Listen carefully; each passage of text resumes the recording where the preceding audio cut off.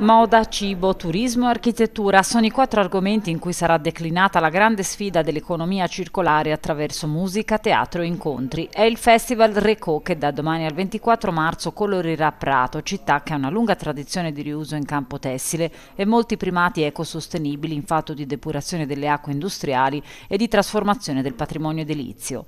L'idea della quattro giorni di eventi, promossa da Comune di Prato, Regione Toscana e Toscana Promozione, nasce proprio dalla volontà di valorizzare le buone pratiche territoriali. Da tanto tempo a Prato facciamo le cose fatte bene ma non le raccontiamo a nessuno.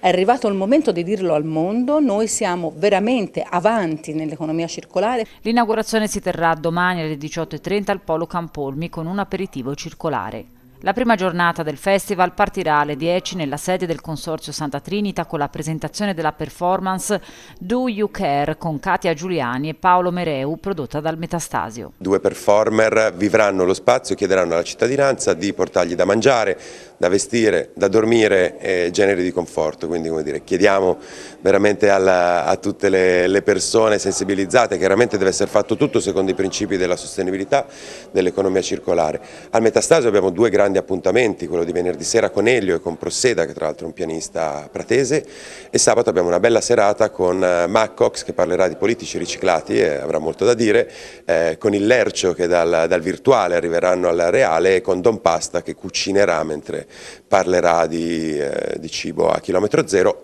Tra cinema, cucina povera che diventa gourmet e i gruppi mascherati del Carnevale di Viareggio si arriverà all'evento conclusivo di domenica sera alla Manteco con la performance di King Caleri.